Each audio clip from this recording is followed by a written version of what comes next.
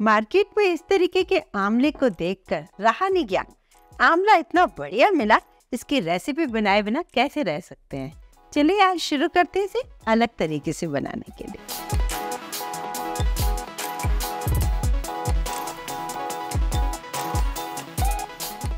आज मैं बना रही हूँ आंवले की गुड़ के साथ चटनी। बहुत ही अमेजिंग बहुत ही टेस्टी बनेगी और हर खाने के साथ आप थोड़ा सा चम्मच लेकर एक चटनी खाएँगे तो बहुत ही अच्छा लगेगा। हमें बच्चों को किसी भी तरीके से विटामिन सी से भरपूर ये आंवला ज़रूर देना चाहिए। तो इस वीडियो को आप आखिर तक देखिए, बेहद पसंद आएगा तो यहाँ पर मेरे पास आंवला है, जिसे मैं सारे को ग्रेट कर देती हूँ। ये देखिए, मैंने आमलों को वॉश कर लिया, पोछ लिया और एक मोटे ग्रेटर से या पतले ग्रेटर से इसको मैं ग्रेट कर रही हूँ। ग्रेट करते टाइम मैंने ग्लव्स इसलिए पहने हैं क्योंकि आंवला अपना कलर छोड़ता है, काला कर देता है हाथों को। तो आप भी या तो ग्लव्स पहनिए या फिर बारीक मोटे टुकड़े कर कर इसे ग्राइंड कर लीजिए मिक्सी में। ये आपकी चॉइस है, आप कैसे करना चाहते हैं। ये एक बोल भर के आधा किलो आंवला है। तो सबसे पहले चटनी बनाने के लिए मैंने एक यहाँ पर कढ़ाई ली है, उसमें दो टेबल स्पून घी डाल दिया है। आप ऑयल भी डाल सकते हैं, कोई इश्यू नहीं। अब उसमें मैंने एक चम्मच भर के डाल दिया सौंफ, एक चम्मच जीरा और एक से दो हरी इलायची। इन सबको हम चटकने देंगे और ये आंवला ग्रेट किया हुआ इसके अंदर डाल देंगे। ये बन भी फटाफट जाती है और ये चटनी स्वादिष्ट भी बहुत लगती है। पूरे साल भर इस आंवले को आप चटनी के तौर पर तो रख ही देते हैं, मुरब्बे के तौर पर, लेकिन और भी तरीके से आप रख सकते हैं जिससे साल भर आपका आंवला चल सकेगा। चार से पाँच मिनट आप धीरे धीरे इस लौंजी को, चटनी को आप धीरे धीरे चलाते रहिए और आंवले को पकाते रहिए। अब इसमें करीब करीब हमारे पास आधा किलो आंवला है तो 250 ग्राम से 300 ग्राम के आसपास आप डाल दीजिए इसमें गुड़। गुड़ को मैंने ग्रेट करके इस तरीके से डाल दिया इसके अंदर। और एक मुट्ठी करीब मैं इसमें डाल रही हूँ चीनी। चीनी से भी ये बहुत स्वादिष्ट लगती है तो मैंने एक मुट्ठी चीनी और 250 से 300 ग्राम डाल दिया गुड़। ये गुड़ का कलर काफ़ी डार्क है क्योंकि ये काफ़ी पुराना गुड़ है, लेकिन टेस्टी बहुत लगेगा इस पुराने गुड़ से, ये चटनी। अगर लाइट कलर का होगा तो आपकी चटनी थोड़ी लाइट कलर की बनेगी डार्क कलर का गुड़ होगा तो डार्क कलर की बनेगी। लेकिन कई बच्चे आंवला खाना पसंद नहीं करते तो उनके लिए ये चटनी बनाकर अगर आप रख देंगे तो उन्हें एक चटनी लगेगी ज़रूरी नहीं है, वो समझ पाएँगे आंवला है।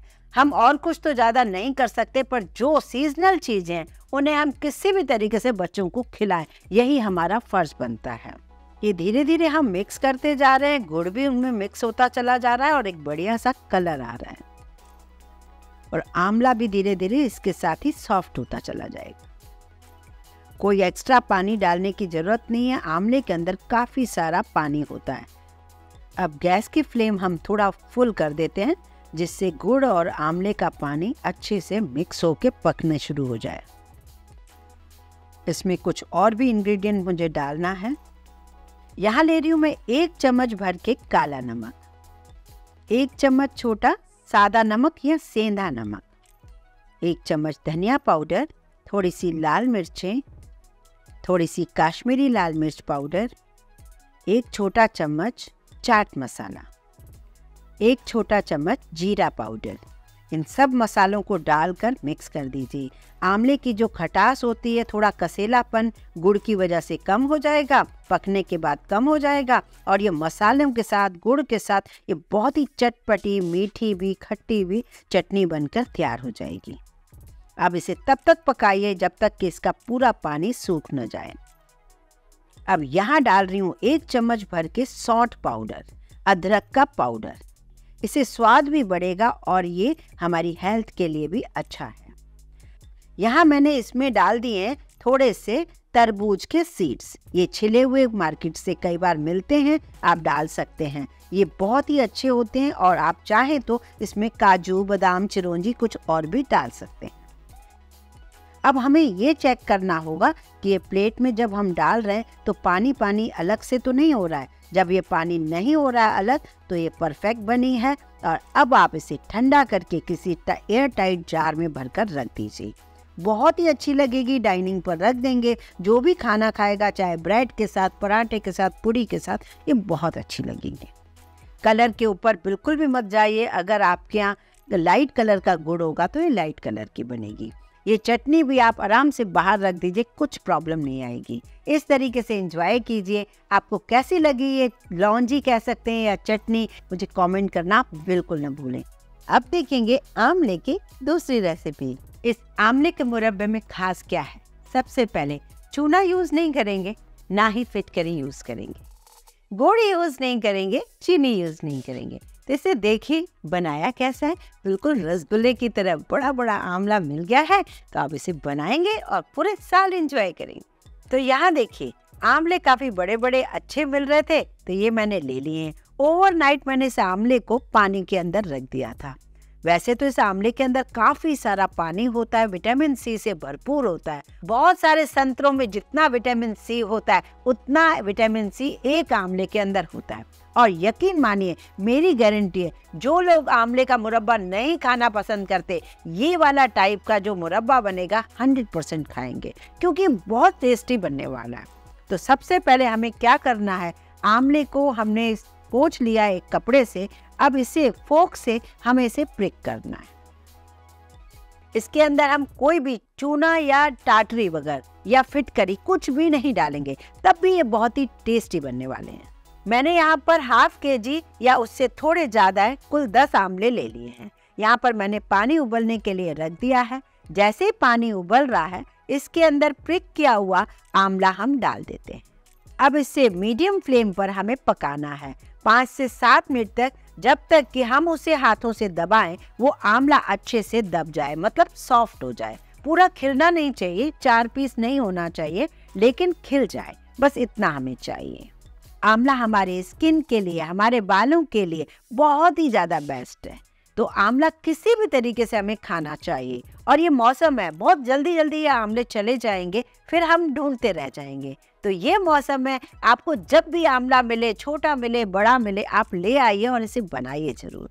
ये देखिए, आंवला बहुत अच्छे से सॉफ्ट हो चुका है, इसे मैं पानी से निकाल लेती हूँ। इस पानी को भी आप वेस्ट ना होने दें, ठंडा करके आप इसे वॉश कर लीजिए अपना बालों को।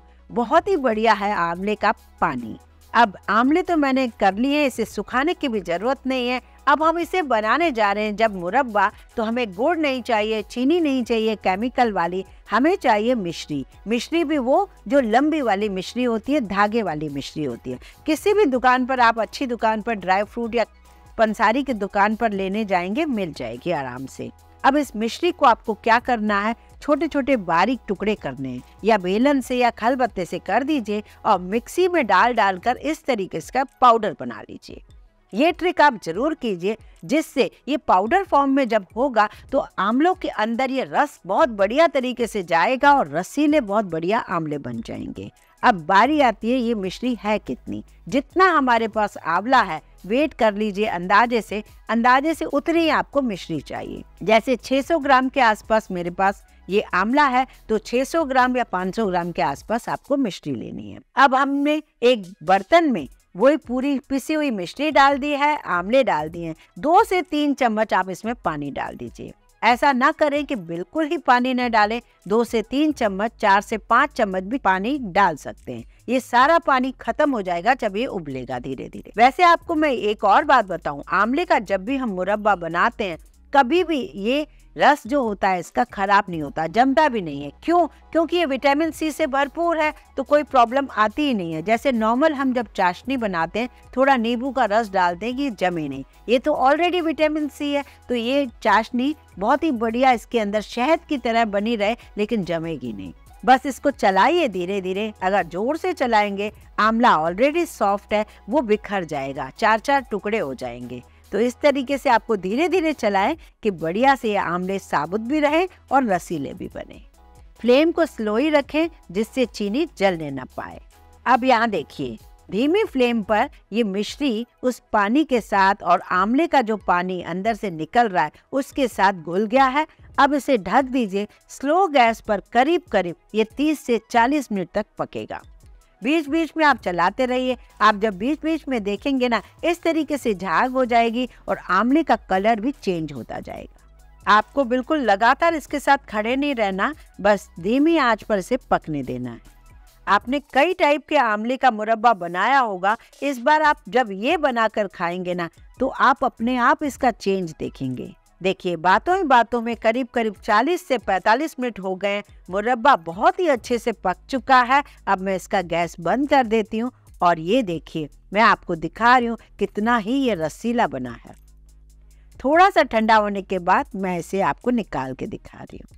जब आंवला सॉफ्ट भी है, रसीला भी है, उसका कलर भी बहुत प्यारा है तो बहुत ही बढ़िया यही रिज़ल्ट हमें चाहिए होता है।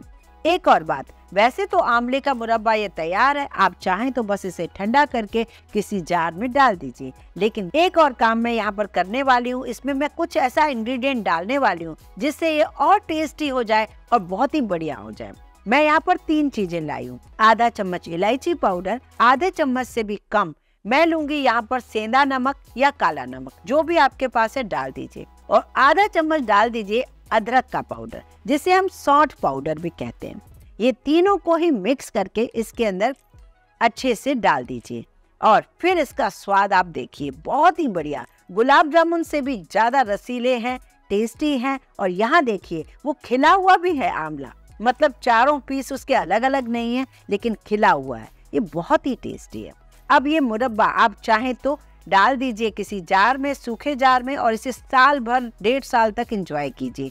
खूब सारे बना के रखिए। यहाँ मैंने थोड़ी चाशनी के साथ इन आंवलों को तो निकाल दिया है, लेकिन बाकी जो चाशनी पड़ी है तो आप इसी में भी डाल सकते हैं, पूरी भरी रहे, या फिर आपको और आंवले बनाने तो उसमें मिश्री थोड़ी कम कर दीजिए, बाकी की ये चाशनी मिला देंगे, तब भी आपका काम हो जाएगा। मतलब बाद में पूरा इकट्ठा करके एक किलो आप एक साथ रख सकते हैं।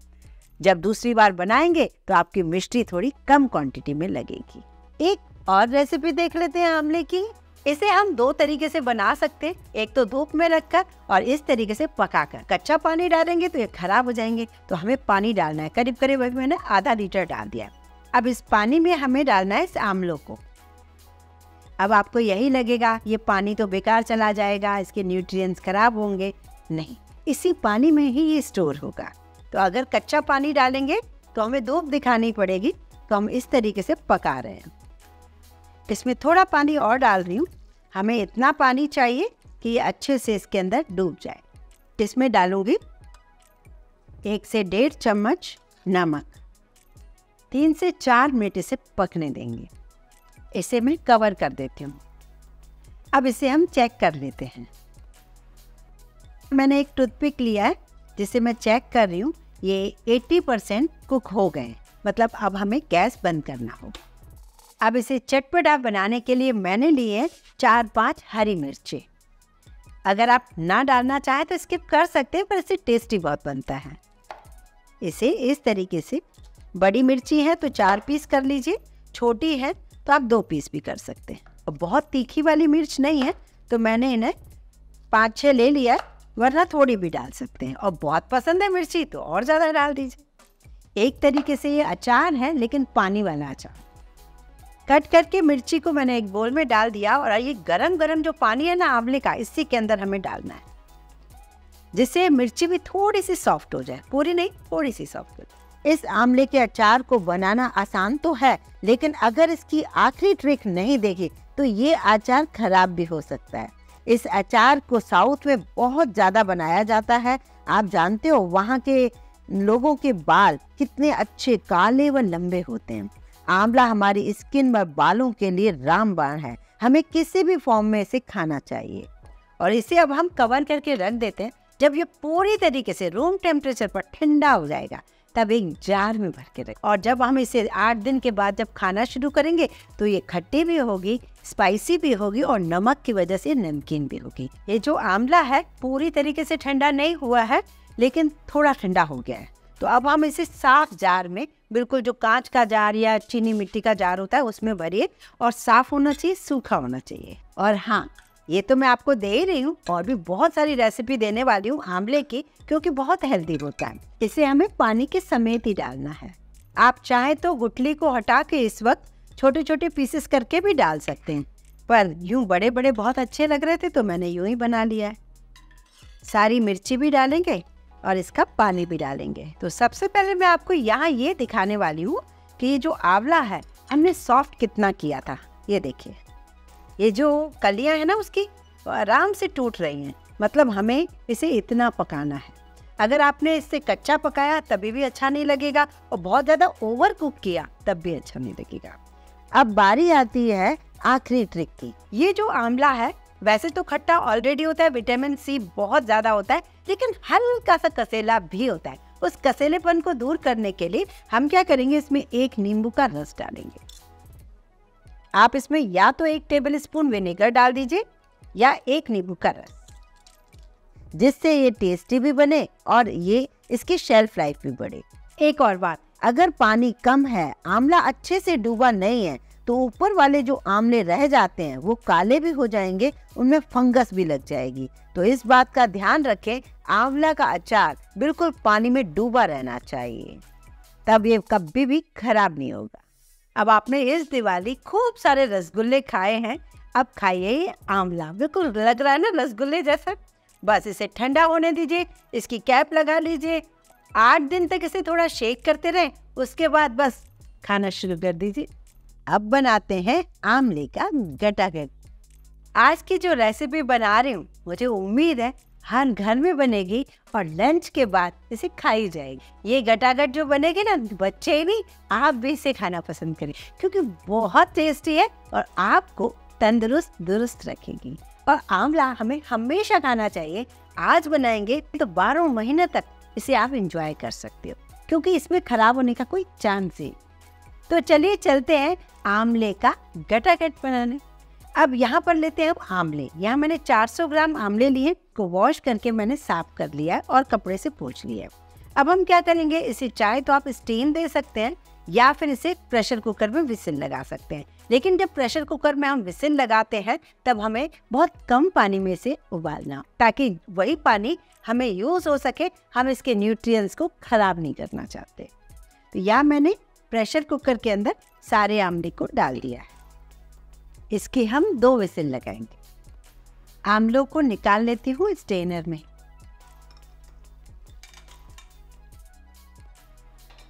बहुत थोड़ा ही पानी है। इसको या तो रेसिपी में यूज़ करना चाहिए, किसी सब्ज़ी की ग्रेवी में, या फिर इसे ठंडा करके बालों में लगा सकते ये देखिए सॉफ्ट इतना होना चाहिए कि ये अलग अलग पीसेस हो जाएँ। इसे मैं कट करके गुटली हटा देती हूँ। इन आमलों को मैं मिक्सी में ग्राइंड कर लेती हूँ।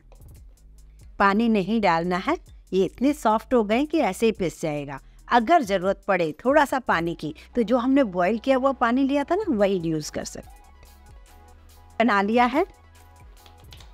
बहुत थोड़ा सा पानी लगा, एक आध चम्मच। मेरे पास ये मोटे तने का कुकर है, इसी में ही बना रही हूँ। तो यहाँ पर मैंने पहले सिर्फ़ पेस्ट डालना है। दो से तीन मिनट इसे स्लो गैस पर अभी पका रही हूँ। अभी मैंने कुछ भी नहीं डाला है। आंवले को मैंने दो तीन मिनट के लिए पका लिया है। अब बारी आती है इसमें गुड़ डालने की। 400 ग्राम के आसपास आंवला था तो 400 ग्राम ही हम डालेंगे इसके अंदर गुड़। ये वन कप और ये हाफ़ कप। जो भी आपके यहाँ गुड़ आता है, गुड़ की चीनी आती है, आप वो भी डाल सकते हैं। आप इसे चीनी के साथ भी बना सकते हैं, पर क्योंकि गुड़ के अंदर बहुत सारा आयरन होता है, अब सर्दियाँ भी आ रही हैं तो ये और ज़्यादा हेल्दी बनाएगी। अब इन दोनों को हमें पकाना होगा। इसका कलर डिपेंड करता है गुड़ पर। गुड़ अगर बहुत ज़्यादा लाइट कलर का होगा तो लाइट कलर के बनेंगे। गुड़ बहुत ज़्यादा डार्क कलर का होगा तो उस हिसाब से उसका कलर आ जाएगा। अभी इसमें बहुत सारी चीज़ें डलेंगी और सारी एक से बढ़कर एक हेल्दी चीज़ें। यहाँ आपको छोटे छोटे पीसेस अगर आमले के दिखते हैं, जो ग्राइंड नहीं हो पाए हैं, उन्हें आप इस तरीके से प्रेस कीजिए, वो प्रेस हो जाएँगे। यहाँ मुझे एक बात और आपसे कहनी है इन केस आप गटागट खाना नहीं पसंद करते, कई घरों में नहीं पसंद आता है, थोड़ी चटनी टाइप पसंद आती है तो इस टाइप की चटनी भी बन सकती है।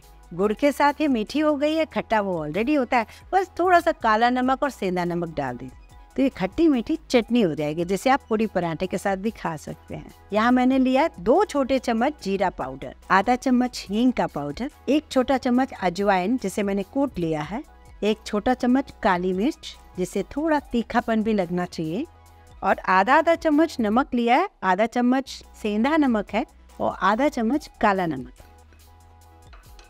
इन सब चीज़ों को डालकर पका लेते हैं फिर से। यूँ तो आंवला बहुत ही ज़्यादा बढ़िया विटामिन सी है इसके अंदर, बहुत खट्टा होता है, लेकिन थोड़ा सा कसेला भी होता है। उस कसेलेपन को दूर करने के लिए यहाँ पर मैं डाल रही हूँ दो टेबल स्पून भर के आमचूर पाउडर। अब इसे हमें तीन चार मिनट और पकाना है, जिससे थोड़ा सा ड्राई होके ये कट्ठा सा हो जाए। काफ़ी ड्राई हो गया है और बीच में जमा सा हो गया है। बस ऐसी कंसिस्टेंसी चाहिए। गैस बंद कर देती हूँ और इससे नॉर्मल टेम्परेचर पर ठंडा होने देती तो यहाँ पर हम क्या लेंगे? एक चम्मच लेंगे छोटा सा, जिस साइज़ का हमें गटागट बनाना है। तो ये छोटा छोटा चम्मच ले लिया और हाथों में हमें क्या करना है? पिसी चीनी। और इस गटागट को इस तरीके से गोल करना है। इससे क्या हो गया? वो जैसे मार्केट में मिलते हैं ना, रैप किए हुए, ये भी हो गया और हाथ भी नहीं चिपके। तो घी ऑयल कुछ नहीं लेना है आपको। इसी तरीके से बस थोड़ा सा पार्ट इसका लेना है और शक्कर में डिप कीजिए।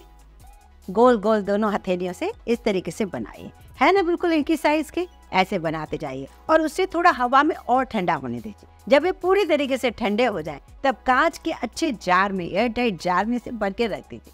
साल भर की छुट्टी। आपको कहना ही नहीं पड़ेगा इस गटागट को खत्म करो। अपने आप खत्म होते जाएँगे जब डाइनिंग टेबल पे रखेंगे। क्योंकि इतना स्वादिष्ट है ना, खाने के बाद खाने का मन कर ही जाएगा एक और बात, मैंने बताया था कि अगर मिश्रण ड्राई ना मिले थोड़ा सा गीला मिले मतलब आप समझ जाइए कि इसमें थोड़ी गुड़ की कमी है। गुड़ को क्या करते हैं ना, हम लोग अंदाजे से लेते हैं मतलब नापते नहीं है। तो क्या होता है कि डेले की वजह से प्रॉपर कप में दिखता नहीं है कि डेढ़ कप है कि नहीं। तो इसका मतलब थोड़ा गुड़ कम है तो उसमें थोड़ा सा गुड़ और डाल दीजिए, उसे थोड़ा और पका लीजिए। जब ये थोड़ा और ड्राई हो जाए, तब इसे वापस ठंडा कीजिए। तो ये पहचान है कि अगर ये चार घंटे बाद भी गीला है मतलब गुड़ की कमी है। वीडियो पसंद आए, लाइक ज़रूर कीजिए, ज़्यादा से ज़्यादा शेयर कीजिए। इस चैनल को सब्सक्राइब करने में कोई कंजूसी न कीजिए।